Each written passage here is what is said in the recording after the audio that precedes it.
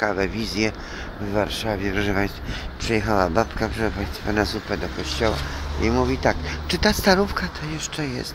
Czy ta starówka to jeszcze jest? A jeszcze wcześniej chytrze tak obejrzała się po tych samych swoich, bo przecież jak nie z Mińska Mazowieckiego przyjechała, to z Karczewia Mareczkowego i mówi, jacy ci ludzie biedni. No tam na tej Żytni, gdzie i Kaj, obserwowałyśmy ich wszystko, że ta, Warsz- że ta Warszawa, że te rechodówki, jacy ci ludzie biedni są. I tutaj te rechodówki, one, one uprawiają rechodówstwo, one są strasznie prymitywne, no. Tam jest Aksa napisane, prawda? Aksa.